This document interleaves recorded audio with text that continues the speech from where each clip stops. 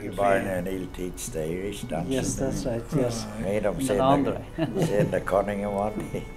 we were eating the dinner and Cunningham, he was a smart fella. And He was he'd smart always fella, someone, yes. he says to someone to Barney, but Barney says, there's a cat out there in the yard and I threw her a bit of that food and she's still licking her ass to take the bad taste of her mouth. When attorneys were brought into this jail, they had political status automatically because they were attorneys. However, from 1972 at least up till 76, after the IRA hunger strike in the jail in 72, anybody coming into the jail for political offences were allowed to keep their own clothes. Anybody In 1959, they had a review of the security, so they put out lights all around the place and they increased the size of the wall to cut a wing off to make it more secure. And that gave us our path to freedom. Because we come out, when we cut the bars in the cell, we crawled across here, and at that time that was open. You had the, the, the tunnel, that's the, that's the area into the tunnel, was just wrought iron. On Monday, the 9th of August, 1971, at 4:30 a.m., Irish men from all over the six counties were taken from their homes. Hundreds of these men were then imprisoned without trial in Long Kesh concentration camp. This is a song born of the civil resistance campaign which followed internment. A song dedicated to those men in Long Kesh Armored cars and tanks and guns came to take away our sons, where every man will stand behind the men behind the wire. The little streets of Belfast in the dark of early morn, British soldiers came marauding, wrecking little homes with scorn.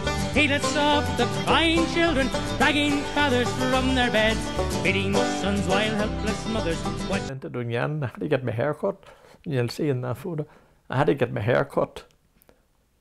And I went to Leo McManaman. That's always who I went to, to my hair cut. And uh, I, I handed him a half a cra- I handed him two and six, I think, for to get my hair cut. Not realising the money had changed. The money had changed from when I was in. moved them into temporary accommodation down in cage 23 and it was just like a shambles. It was like were a- bunks three, three on top of other Like a hay barn. and, uh, and water running through the roofs and it was serious. Uh, Cormackship was good, as being new men were all laid out for a bit of crack uh, for new guys.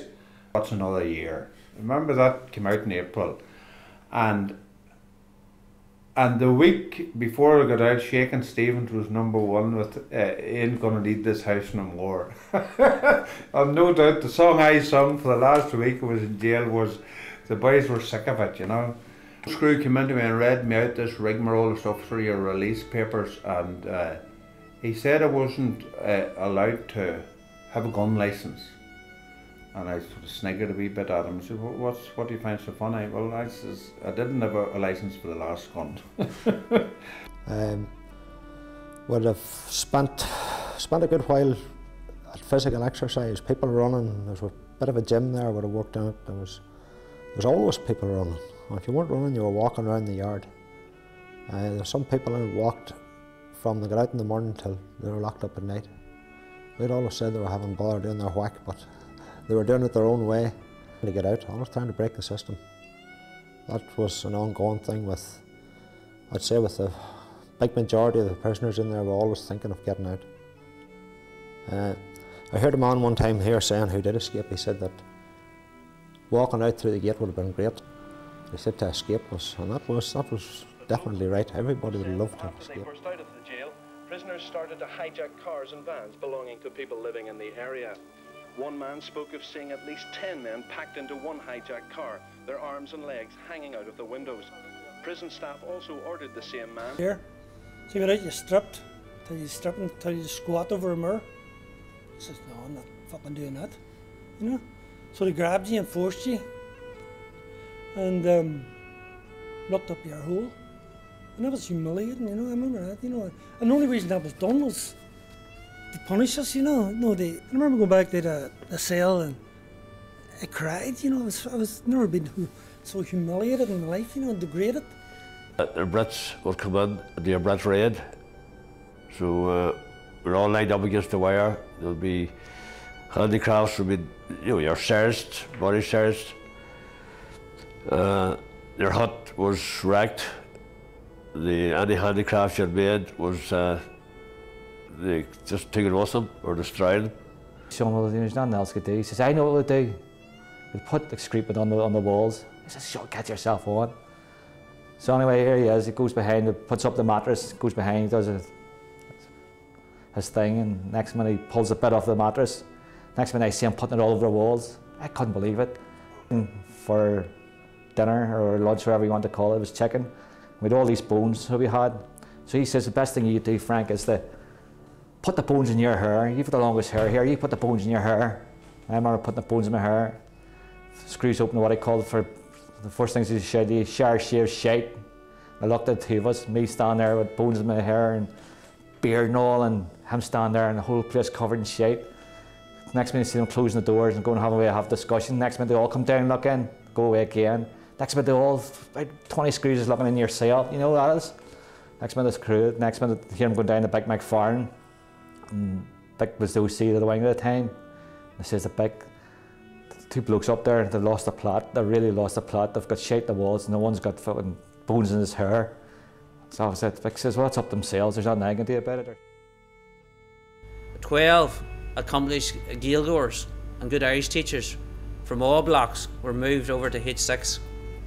Um, and then they were sort of bedded down and declared a Gaeltacht, uh, which the, the administration were sort of caught in the hop with. It was a long, hot summer, 95, because remember, it was distinct, very, very warm summer. And, um, you know, I thought it was great being on the Gaeltacht wing. It was, um, first of all, there was no English spoken at all. With all conversations, so it, it was done as Gaeilge. Vicious, beaten by male screws in Armagh jail, male and female screws, which left some of the women with really, really serious injuries. Um, so by 19, say by February 1980, the women then were locked in their cells 23 hours a day. Uh, all privileges were taken off them, no toilet facilities. I would have been arrested from home, uh, probably 6 a.m. knock, I think it would have been, and uh, would have been taken to Gough Barracks Armagh. Uh, in Carrickmore, that was our local detention centre. Uh, it used to be, uh, if you lived in Strabane, you would go to Strand Road. If you lived in Carrickmore, you would go to Gough. And if you lived maybe in Belfast, you'd be taken to Castlereagh. It was like your local chapel. You know, what chapel do you go to? It was such a happy day, mm. you know, and like there was lovely food. She had her wedding dress in and her bridesmaid, and we didn't all get to go to the chapel. She was only allowed so many, so many guests, and the chapel was like a room over an education block, but it, it was the chapel where mass was every time it was on. So like it was the, and um, I think it was at eight guests or ten guests or something like she was allowed in.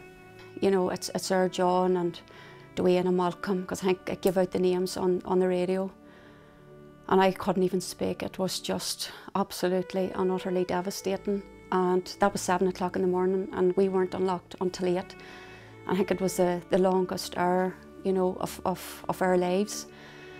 So as soon as we did get unlocked in, we went straight down to stairs to Pauline and as Geraldine had outlined earlier on, you know, Pauline was, you know, like every, you know, very strong and, um, but in complete and utter shock looking back at the three prisons, every every one of them had their ups and downs. Everyone had their comradeship, and even though I wouldn't like anybody to go to prison, I do think there's things in prison I will take away with that will always stay with me, and when someone believing that will be very very happy memories.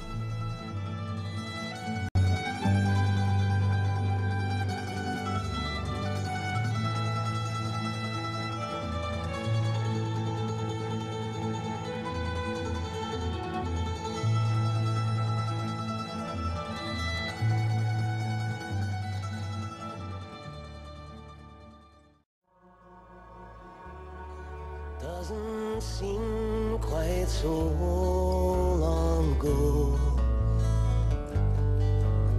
The last time that I saw you. But ain't it funny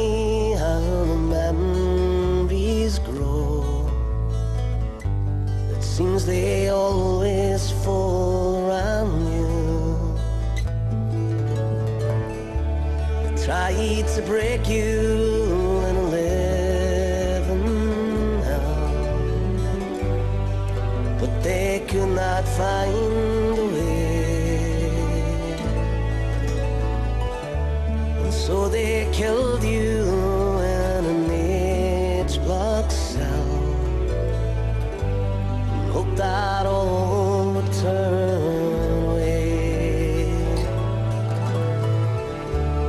thought your spirit couldn't rise again. Oh, but you dared to prove them wrong. And in death you tore away the chains to let the world hear freedom's songs.